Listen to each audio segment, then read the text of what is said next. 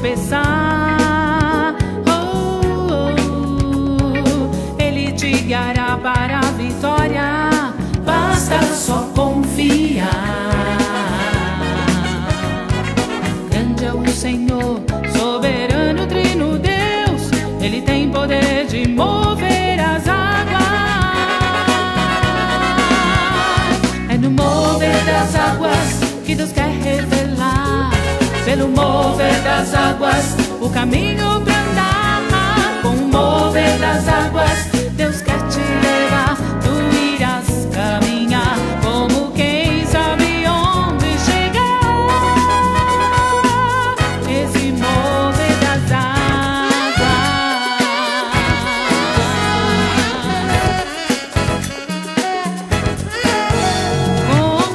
seus cuidados ao Senhor, pois Ele